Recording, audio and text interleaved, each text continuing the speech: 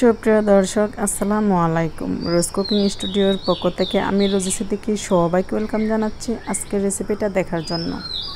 আজকে তৈরি করব দারুণ মজার ডিম আলুর চপ। খুব মজার এই ডিম আলুর চপ রেসিপিটা খুব সহজেই কিন্তু তৈরি করে নেওয়া যায়। বিভিন্ন ধরনের একটু স্পেশাল মশলা অ্যাড করলে কিন্তু এর টেস্ট অনেক ভালো আসে। আশা করি আপনাদের ভালো লাগবে। তাই ভিডিওটা প্রথম থেকে শেষ পর্যন্ত দেখার অনুরোধ রইল।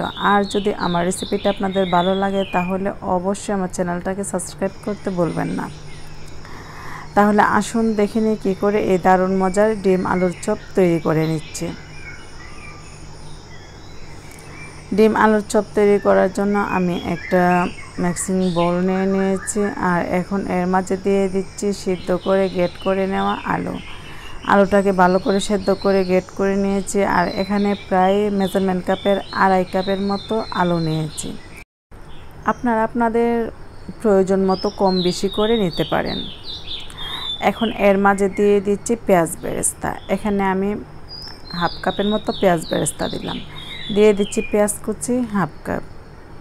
এখানে দিব মশলা, নিয়েছি হলুদের গুঁড়া, নিয়েছি লাল মরিচের গুঁড়া আর নিয়েছি একটু কাবাব মশলা। একটু কাবাব মশলা দেওয়ার চেষ্টা করবেন, তাহলে টেস্ট অনেক ভালো আসবে।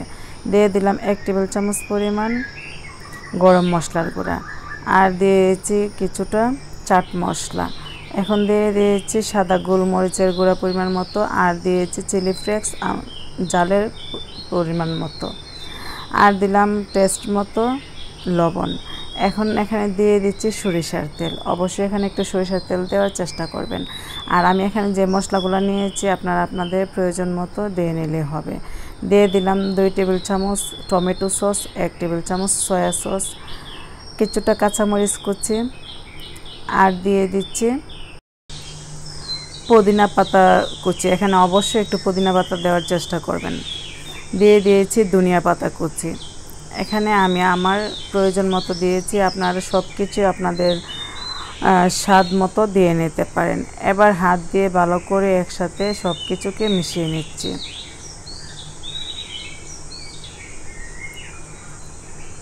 যে আমার মনে হচ্ছে এখানে কিছুটা ব্রেড কাম দিতে হবে। তার জন্য এখানে আমি টোস্ট বিস্কিটের গুঁড়া দিয়ে দিচ্ছি। আর আমি এখানে টোস্ট বিস্কিটের গুঁড়া নিয়েছি প্রায় হাফ কাপের মতো। আপনারা আপনাদের যতটুকু প্রয়োজন হবে, একটু একটু করে দিয়ে যতটুকু লাগবে দিয়ে দিবেন। সব কিছু একসাথে ভালো করে মেখে নিয়েছি।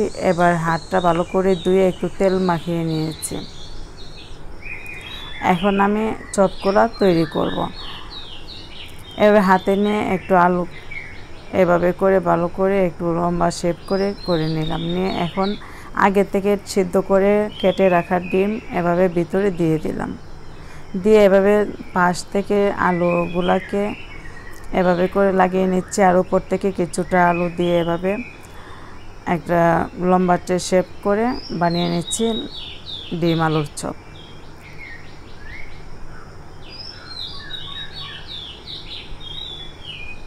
একটু ভালো করে চেপে চেপে এই চপটাকে বানিয়ে নিতে হবে।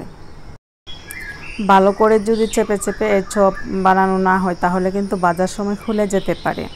এই তো খুব সুন্দর করে একটা চপ বানানো হয়ে গেছে, এবার একটা প্লেটে রেখে দিচ্ছি।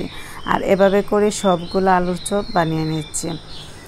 এখন একটা বাটিতে লবণ দিয়ে আমি একটা ডিম ফিটিয়ে রেখেছিলাম। এখন এই ফেটানো ডিমে, এই ডিমের আলু চপটা দিয়ে এখন একটু ডুবিয়ে নিলাম, নিয়ে টোস্ট বিস্কিটের গুঁড়ার মাঝে ঘুরিয়ে নিয়েছি। নিয়ে হাত দিয়ে ভালো করে চেপে চেপে একটু টোস্ট বিস্কিটের গুঁড়াটা এই ডিম আলুর চপে লাগিয়ে নিলাম। এই যে এখানে বানানো হয়ে গেছে কয়েকটা, এখন এগুলাকে আমি বেজে নিব। আর অবশ্যই বেজে নেওয়ার আগে 10 থেকে পনেরো মিনিটের জন্য নর্মাল ফ্রিজে রেখে দিতে হবে। এখন বাজার জন্য তেল ভালো করে গরম করে নিয়েছি। আর অবশ্যই এই চপগুলা বাজার জন্য তেলটাকে খুব বেশি গরম করে নিতে হবে। গরম তেলে এই ডিম আলুর চপটা দিয়ে দিলাম। আমি আমার প্রয়োজন মতো এখানে বেজে নিচ্ছি। বাকিগুলো আমি ফ্রোজেন করে রাখব। কিছুক্ষণ পর এই ডিম আলুর চপকে আস্তে করে একটু এভাবে উল্টিয়ে নিব, একটু সাবধানের সাথে।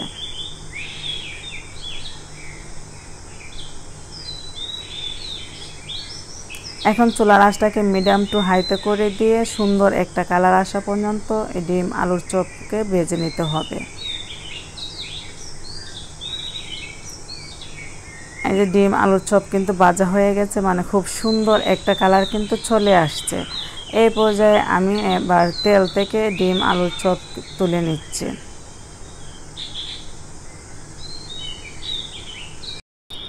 চপগুলোকে কিন্তু খুব বেশি একটা বাঁচতে যাবে না, তাহলে কালারটা কিন্তু সুন্দর আসবে না। এবার আমি পরিবেশন করে নিচ্ছি গরম গরম ডিম, আলুর চপ। গড়ে তৈরি করা টমেটো সস দিয়ে আমি পরিবেশন করছি। ইফতারের টেবিলে এই দারুণ মজা ডিম, আলুর চপ রেসিপিটা কিন্তু খুব সহজে আপনিও তৈরি করে নিতে পারেন। আশা করব আজকের এই ডিম, আলুর চপ রেসিপিটা আপনাদের ভালো লাগবে। আর ভালো লাগলে অবশ্যই একটা লাইক দিতে ভুলবেন না। এরকম সহজ আর নতুন রেসিপি পেতে অবশ্যই আমার চ্যানেলটাকে সাবস্ক্রাইব করতে ভুলবেন না। সবাই ভালো থাকবেন, আমাদের জন্য দোয়া করবেন। আল্লাহ হাফেজ।